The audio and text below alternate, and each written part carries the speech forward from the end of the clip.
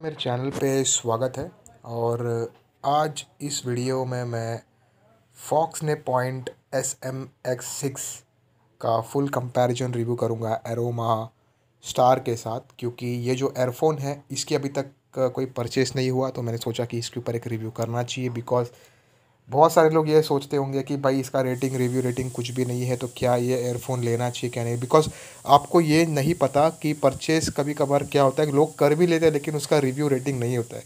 तो जब किसी का रिव्यू रेटिंग नहीं है तो इसका ये मतलब नहीं है कि वो परचेस ही नहीं हुआ है। बहुत सारे लोग उसका रिव्यू रेटिंग देना भी भूल जाते हैं कोई कोई लोग तो देते नहीं है। यहाँ पर आज इस प्रोडक्ट के बारे में बात करेंगे जो कि नया ब्रांड है। तो सबसे पहले बात करते हैं इसके लुक और बिल्ड क्वालिटी तो लुक और बिल्ड क्वालिटी जैसा कि आप देख सकते हैं कि जो आपको दिख रहा है एकदम इसका जो नीचे का कॉर्नर से काफ़ी ज़्यादा स्टर्डी है। और वायर की क्वालिटी मैं बोलूँगा थोड़ा नॉर्मल है, जैसे सभी एयरफोन से फोर फोर्टी सेवन रुपीज़ का अभी आता है। एरो में एयरफोन के साथ मैं कंपेयर करने वाला हूँ। तो लुक वाइज और बिल्ड क्वालिटी वाइज मैं डेफिनेटली बोलूँगा ये एरो में एयरफोन से आगे निकलता है।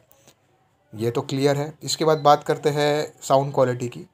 साउंड क्वालिटी में भी मैं बोलूँगा कि ये जो एयरफोन है, खरा उतर रहा है मतलब ये काफ़ी अच्छा कर रहा है। बैलेंस साउंडिंग है इसकी मतलब एक ऐसा नहीं कि आपको बेस बहुत ज़्यादा मिलेगा बैलेंस साउंडिंग है जिसके अंदर आपको ट्रेबल स्टेरियो आपको साउंड मिलती है। म्यूज़िक के लिए आप काफ़ी अच्छा आप इस पर एक्सपीरियंस कर सकते हो।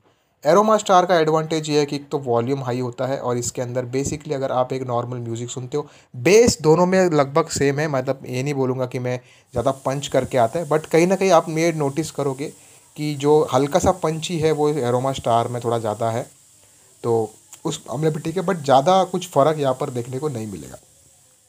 कॉलिंग के मामले में अगर मैं बात करूँ तो आ, दोनों में लगभग मतलब डिसेंट साउंडिंग है बट दोनों ही प्रोडक्ट्स क्योंकि ये एक मैं बोलूँगा एंट्री लेवल का एक तरह से जैसे हम स्मार्टफ़ोन बोलते हैं एंट्री लेवल का वैसे एंट्री लेवल नेक बैंड है तो बेसिकली जो ईयरफोन्स का जो माइक का जो एक्सपीरियंस रहेगा वो उतना खास नहीं रहेगा ये आपको समझ लेना है। जो माइक है इसका वो normal R X two mic यहाँ पर यूज़ किया गया है, जिसमें काफ़ी नॉर्मल ये आपको डिसेंट सा आपको ये कॉल एक्सपीरियंस दे देगा।